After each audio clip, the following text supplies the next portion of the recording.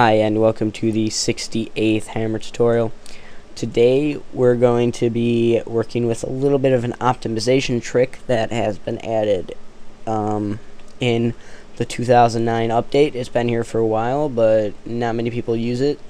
It's called Func Viz Cluster and nearing the completion of my map that I have open here. It is an outside environment and when VVIS runs through the map it creates all the viz leaves that it needs and it goes in each viz leaf and it sees what other leaves it can see. Now on completion of the map I went through my compile log just to check for errors and everything was looking good until I noticed my time on vvis.exe so it took two well nearing two hours took one hour 56 minutes and 56 seconds to complete vvis which should not take that long. I mean the lighting should have taken the longest time and it only took 41 minutes. So what we're going to do here is we're going to cut down our vvis time for big open areas. So the first thing you're going to want to do is pretty much eliminate everything from viz groups that does not cut a leaf. So you want to get rid of your 3D skybox. Uh, I'm going to get rid of those. And get rid of all the trees. Clear up my vision a little bit. And that should be good, because this is all I want to see. I just want to see what everything out here will look like when it can see itself. So, now we're going to go ahead and create some viz clusters. So what you need to do first is select your trigger texture. And like I said, we're manually telling VVIS what leaves can see what. So we want to go with the obvious here. Obviously all these uh, viz leaves in this area that I'm about to outline here can see each other. So all of these can see each other. And I, I know they can. So let's create a viz cluster here.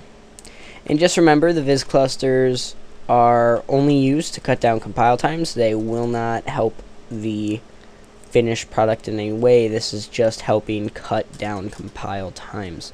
Like I said, two hours. A little lengthy, even though this is a big map. So once you've created your viz, I mean your trigger brush, press Control T and make it a func viz cluster. This entity has no options at all. It just manually tells VVIS that all these leaves can see each other and it will help cut down compile time. Now, if you have any hint and skip in your map manually made, you're going to want to take these into account when splitting your viz leaves. Because you manually split viz leaves you don't want them to be split all funky like because you manually told vvis to do something wrong. So make sure you know what you're doing when you're cutting your viz leaves because otherwise it will it will turn out badly. Because you just pretty much undid everything that hint skip just did. So after you're done with all your viz clusters, just save the map and compile it like normal. And then your compile times should be majorly cut down. I'll post my compile log at the end of this tutorial just to show you guys how much of an increase this helped. But it's going to take a little bit to compile, so I'm just going to let that go after I'm done doing this. Okay, so it's officially the next day from my clock down here. And the map has been compiled.